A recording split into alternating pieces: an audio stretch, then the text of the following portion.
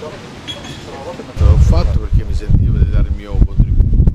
Invece per quanto riguarda diciamo, Piazza Navona cioè, siamo proprio disperati perché il nostro pubblico è solo e esclusivamente turistico.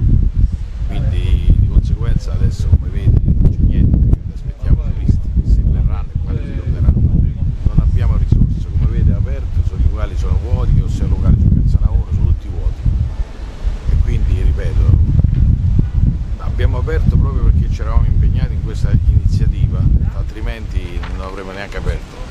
E sicuramente se non cambia qualcosa, una volta esaurito queste prenotazioni, richiuderemo se non cambia qualcosa.